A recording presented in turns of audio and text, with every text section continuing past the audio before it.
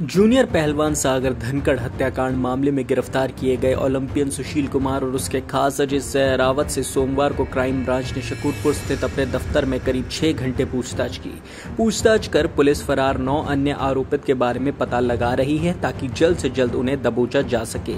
दोनों से mobile phone और स्टेडियम की डीवीआर के बारे में पूछताछ की गई।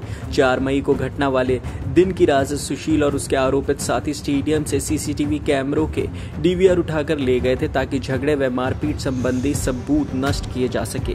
दिल्ली पुलिस सबसे पहले उनके मोबाइल फ़ोन और डीवीआर बरामद करने की कोशिश कर रही है। उसके बाद स्टेडियम ले जाने के बाद सीन रिक्रिएशन कर घटना के बारे में पता लगाएगी।